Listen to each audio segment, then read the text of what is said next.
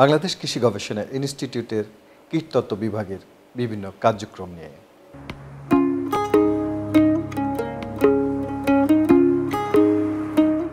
বাংলাদেশ কৃষি গবেষণা ইনস্টিটিউট দেশের খাদ্য ও পুষ্টি নিরাপত্তায় নিরলসভাবে কাজ করে যাচ্ছে।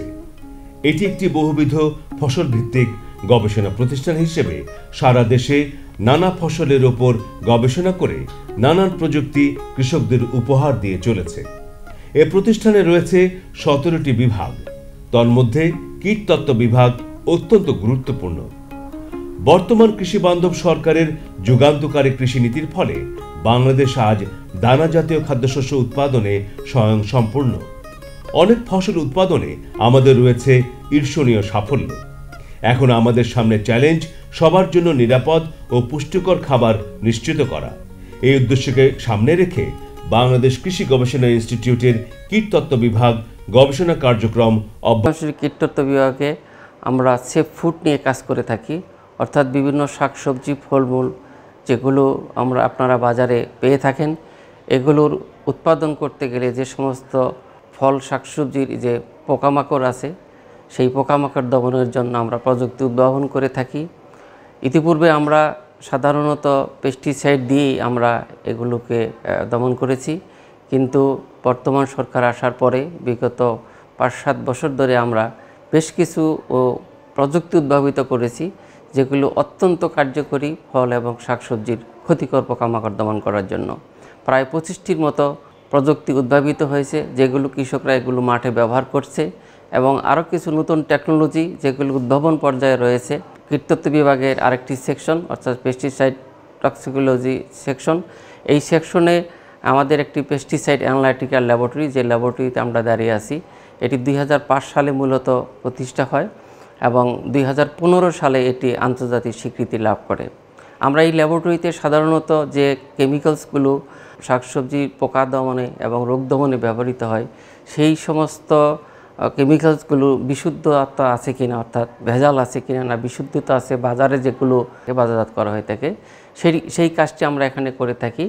জাতীয় কৃষি নীতি দু হাজার আলোকে এ প্রতিষ্ঠান বিভিন্ন ফসলের ক্ষতিকারক পোকামাকড়ের জৈব বালাইনাশক ভিত্তিক পরিবেশ সম্মত ও কার্যকর দমন ব্যবস্থাপনা প্রযুক্তি উদ্ভাবনের কাজ করে যাচ্ছে।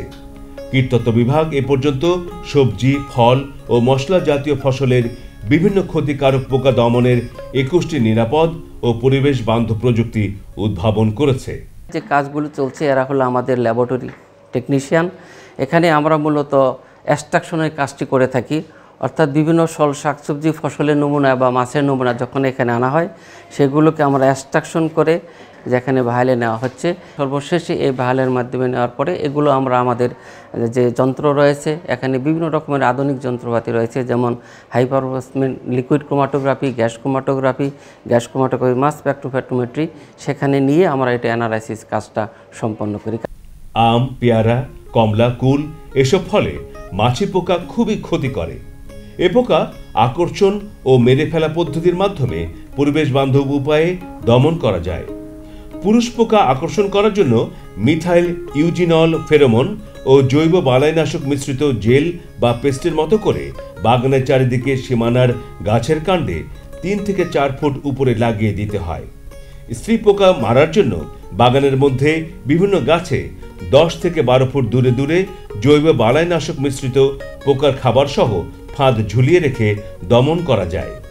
একই পদ্ধতিতে কুমড়া জাতীয় ফসলের পুরুষ ও স্ত্রী মাছি পোকা দমন করা যাবে। আমাদের এখানে সারা বিশ্বের মধ্যে যে সমস্ত অত্যাধুনিক যন্ত্রপাতি ব্যবহৃত হয়ে থাকে, বাংলাদেশের এই গবেষণাগারটিতে বিশ্বমানের যে সমস্ত যন্ত্রপাতি যেমন high performance liquid chromatography gas chromatography gas chromatography mass spectrometry gas chromatography tandem mass spectrometry এবং লিকুইড ক্রোমাটোগ্রাফি টেন্ডেম মাস স্পেকট্রোমেট্রির মতো আমাদের এই ল্যাবরেটরিতে যন্ত্রপাতিগুলো রয়েছে।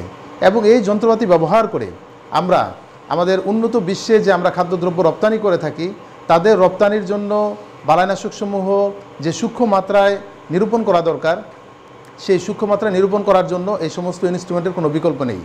এই জন্য আমরা এই সমস্ত ইনস্ট্রুমেন্ট ব্যবহার করে, এছাড়া আমাদের যে জিসি এমএস এবং এলসি এমএস রয়েছে, সেগুলোতে আমরা অতি সূক্ষ্ম মাত্রায় আমরা আমাদের পেস্টিসাইড সমূহ কোয়ান্টিফিকেশন করতে পারি।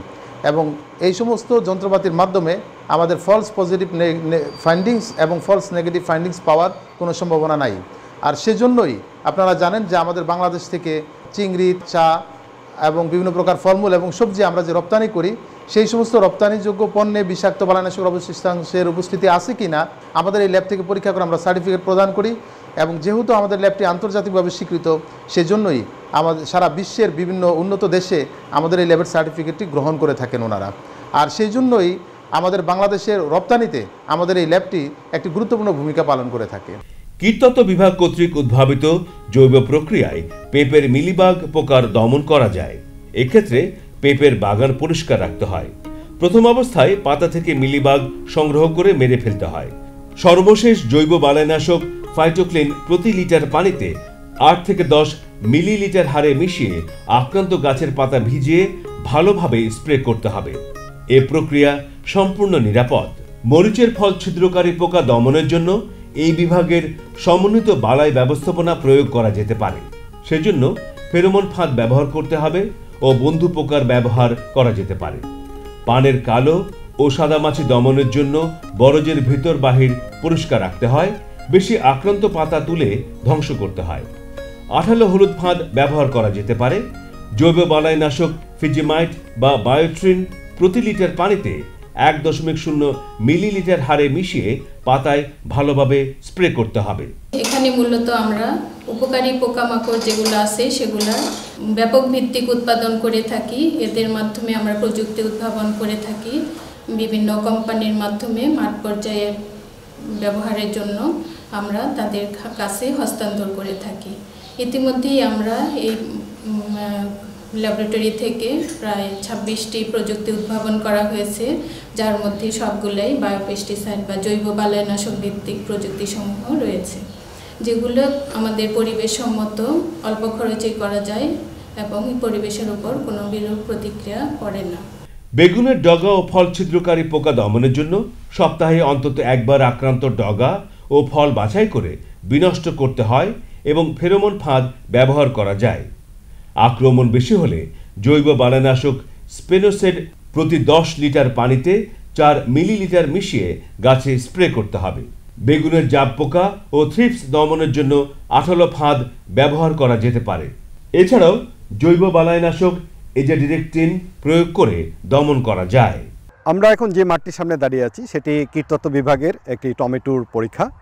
আমরা এই টমেটোর মাঠে যেটা আমাদের গুরুত্বপূর্ণ পোকা, সেটা হলো ফল ছিদ্রকারী পোকা। সেই ফল ছিদ্রকারী পোকাকে আমরা কীভাবে খুব সহজে জৈব বালানাশক ভিত্তিক প্রযুক্তির মাধ্যমে আমরা দমন করতে পারি, সেটি নিয়ে আমরা কাজ করছি।